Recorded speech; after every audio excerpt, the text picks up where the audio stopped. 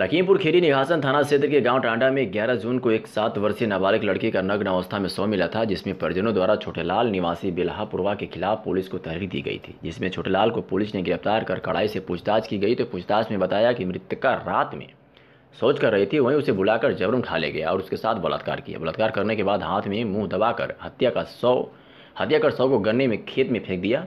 Police ने अपराधी के पास से मृतका के कपड़े बरामद किए हैं। अपराधी के खिलाफ पास्को एक्ट सहित विभिन्न धाराओं में मुकदमा पंजीकृत कर जेल भेज दिया गया है। पुलिस अधीक्षक रामलाल वर्मा ने गिरफ़्तार करने वाली टीम निघासन प्रभारी निरीक्षक संजय कुमार त्यागी और उनकी टीम को जल्द खुलासा कर अपराधियों को सलाखों के पीछे पहुँचाने पर इनाम देने की घोषणा की है। थाना निघासन क्षेत्र के ग्राम बहलापुरवा में नौ बटे दस की रात में एक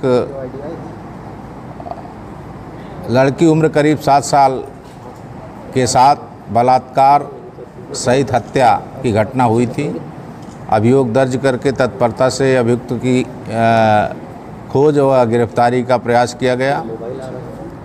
ग्यारह छः अठारह को अभियुक्त छोटेलाल गिरफ़्तार किया गया, जिसने बताया कि वो शराब के नशे में हो कर के और लड़की के साथ उसने बलात्कार किया है।